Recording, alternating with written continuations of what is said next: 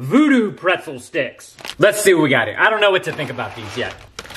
Okay, that's interesting. Hold on. So here's the Voodoo chip.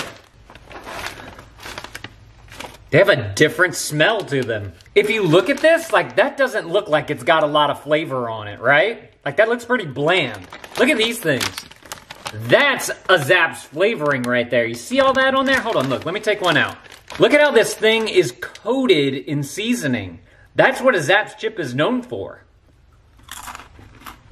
Mmm, oh my goodness. Mmm, the flavoring on that is perfect. They need to take this, dump it, more of that onto here. Like, I am so disappointed in these, uh, the flavoring on these chips right here.